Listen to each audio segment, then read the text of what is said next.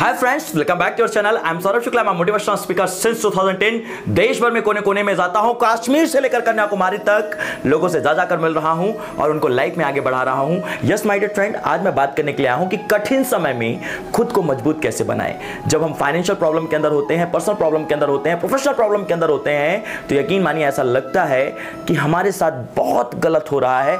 ऐसा हम नज़र आते हैं खुद को कि जैसे जाल में फंसा हुआ एक पक्षी हो yes my dear friend problem से घबराए नहीं, बल्कि प्रॉब्लम को समझिए। यदि आप अपने आप को प्रॉब्लम से छोटा समझते हैं तो प्रॉब्लम आपको हरा देगी। लेकिन यदि आप अपने आप को प्रॉब्लम से बड़ा समझते हैं तो यकीन मानिए प्रॉब्लम को आप चारों खाने चित्त कर सकते हो। मेरी बातों को समझ लीजिए, ये प्रॉब्लम बड़ी नहीं है, ये कठिन समय बड़ा नहीं है। आपका एटीट्यूड आपको बड़ा बना सकता है, विशाल बना सकता है प्रॉब्लम को हरा सकता है। तो चलिए शुरू करते हैं। वेरी फ़र्स्ट थिंग कठिन कठिन समय से यदि आपको लड़ना है तो पॉजिटिव रहिए।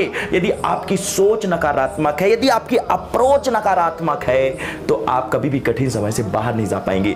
ये सोचिए, ये बुरा वक्त आया है आपको कुछ सिखाने के लिए, आपको बताने के लिए, आपको समझाने के लिए, आपको स्ट्रांग बनाने के लिए आया है। यकीन मानिए, जब आप टेनिस बॉल को ज़मीन पर पटकते हैं, जितना तेज़ी से पटकते हैं, उतना ऊंचाइयों पर जाता है।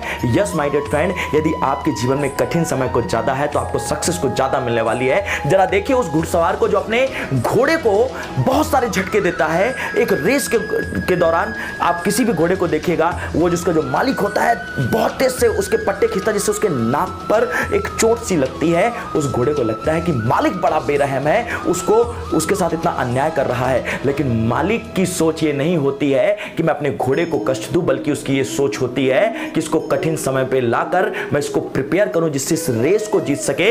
यस माय डियर फ्रेंड यदि आपके जीवन में कठिन समय चल रहा है तो यकीन मानिए, ज़िंदगी के रेस में ईश्वर आपको जिताना चाहते हैं। इसलिए पॉजिटिव रहिए। नेक्स्ट थिंग, दूसरों से इंस्पिरेशन ले। उन लोगों को देखें जिनकी स्थिति आपसे बेकार है। उन लोगों को देखें जिनके पास खाने के लिए पैसा नहीं है। उन लोगों को देखें जिनके पास हाथ और पैर नहीं है। उन लोगों को जीवन जीते हुए देखिए, बहुत सारे एग्ज़ाम्पल हैं हमारे देश के अंदर जिनकी लाइफ में पहले कुछ भी नहीं था, लेकिन उन्होंने बाउंस बैक किया और अपनी ज़िंदगी को जीना सीखा। एक चीज़ हमेशा याद रखिएगा, जब ज़िंदगी में सब कुछ अच्छा चल रहा हो तो उन लोगों को देखिए जिनका आपसे अच्छा चल रहा है, इससे आपके जीवन में ईगो और घमंड नहीं आएगा। लेकिन जब ज़िंदगी में कुछ बुरा चल रहा हो, तब कंपेयर मत करें। उस वक्त अपने से खराब कंडीशन वाले इंसान को देखें। जरा सोचिए कि यदि वो इंसान इतनी विपरीत परिस्थिति में रह सकता है तो आप क्यों नहीं रह सकते?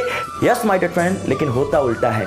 जब हमारी परिस्थितियाँ विपरीत होती है तो हम जलस करते हैं कि देखो, इसका जीवन कितना बेहतर है। मेरा जीवन तो खराब है। और जब हमारे पास कुछ धन आ जाते हैं तो हम अपने से बड़ा बादशाह किसी को नहीं समझते। सो एटीट्यूड बदल दीजिए और दूसरों से इंस्पिरेशन लीजिए, सीखिए उनसे। नेक्स्ट थिंग अपनी सच्चाई को स्वीकार कर लीजिए। यस माय डियर फ्रेंड बुरा वक्त चल रहा है।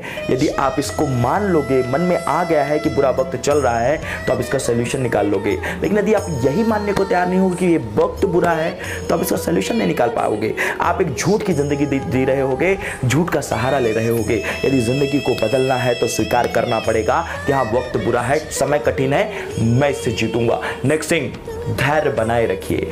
धैर्य आपकी सबसे बड़ी ताकत है। धैर्य जिस इंसान के जीवन में है, वो सफलता को एक ना एक दिन ज़रूर पा लेता है, लेकिन वो धैर्य आपकी ज़िंदगी के होना, अंदर होना बहुत ही ज़रूरी है। Real problem and imaginary problem को पहचाने।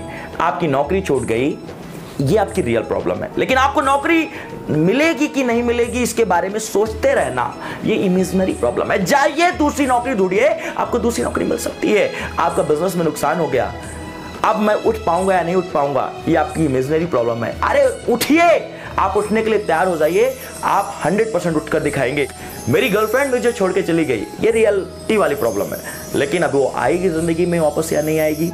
या फिर मैं कोई दूसरी बना पाऊँगा, नहीं बना पाऊँगा, ये एक इमेजिनरी प्रॉब्लम है। एग्जैक्टली माई फ्रेंड सोचने से कुछ नहीं होता है। प्रॉब्लम जो है, उसका सामना करिए और आगे निकल जाइए। और एक इंसान जितना रियल में प्रॉब्लम में नहीं होता, उससे ज़्यादा इमेजिनरी प्रॉब्लम में होता है। सो इमेजिनरी प्रॉब्लम में स्टक मत करें। लाइफ में आगे बढ़ें। नेक्स्ट थिंग अपनी अच्छाइयों को पहचाने। भगवान, हर किसी को बहुत सारी अच्छाई के साथ इस दुनिया के अंदर दसता है।